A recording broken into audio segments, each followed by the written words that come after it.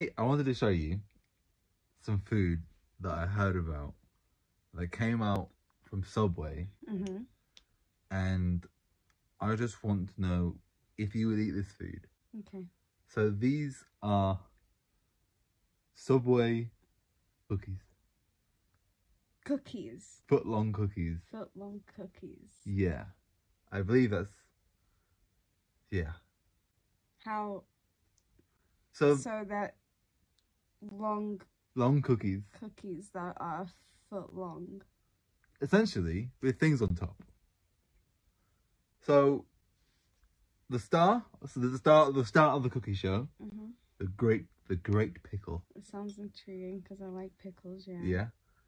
So it's a signature pickle flavor. Mhm. Uh, the most outrageous cookie. Every bite will contain salty potato chips, savory bacon crumble, Sub uh, Subway's brand new dill pickle uh, on top of peanut butter and marshmallow cream spreads, and a vanilla sugar cookie base. Have a look at that. Do you know what? It looks so much worse than what I was picturing. It looks like someone's. It actually, the way I pictured it, I made it look somewhat like decent. They just added full on like crisps on top, and they made it really That marshmallow sauce does not look like marshmallow sauce. It doesn't.